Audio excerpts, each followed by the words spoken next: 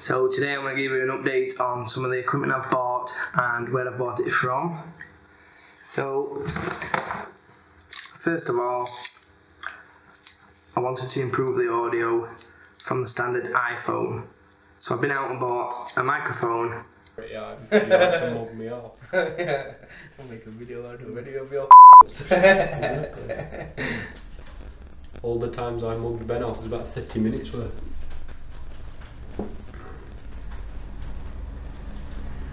Right there. Right there. Well, what we're doing. It's a audio test. Audio test. Audio test. You look like a which I've just been having a bit of trouble with to be fair then. So I've had to pinch a camera. But on the previous video, um, if you go back to the one month review of YouTube, that one were all done on this microphone, which sounded pretty good. I've had to buy this rig off Amazon to be able to fit the microphone on for a hot shoe or cold shoe mount. And it'll fit my tripod. I could put lights on it if I wanted to so it's pretty good. It is the Boya BY MM1 microphone. There's been some good reviews on Amazon about that, so I'll try and put that in the links down below. But one thing I did buy two of was the adapter for the iPhone. I bought this adapter to fit the microphone and that didn't work. That were £8 for two were absolutely rubbish. So I had to go out, buy another one, which is a Ugreen.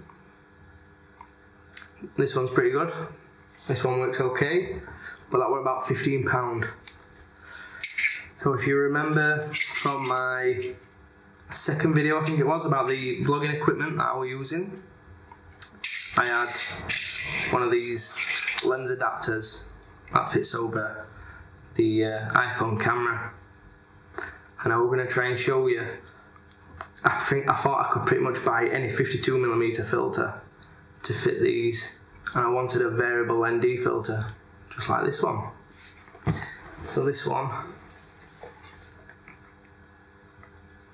if it's focused bought this one off Amazon this one arrived today so I'll try and get you some uh, test footage with this ND filter on. Good song.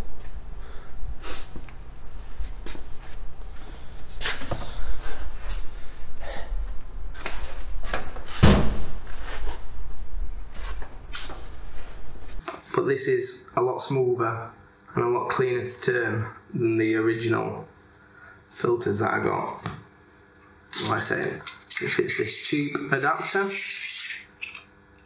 which will slide over my phone. It's a variable ND, which goes from ND2 to ND32, which is pretty good. So that was one of the original cheap rubbish lenses. Didn't use these ones because they've got a gradient on them. That one's blue.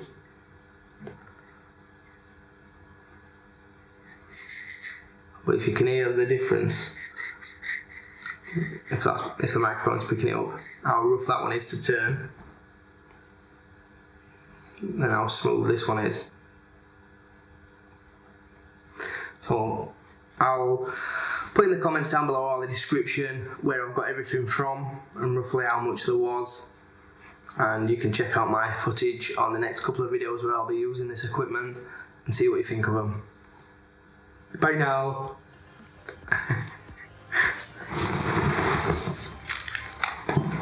What are you doing now?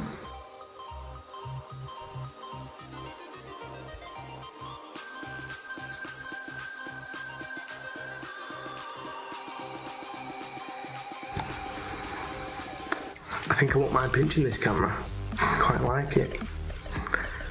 Sorry Mac, your camera's going missing.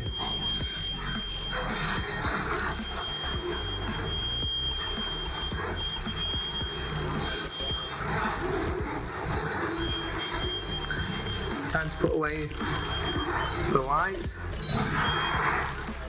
tidy up, and I'm going home. Thanks for coming.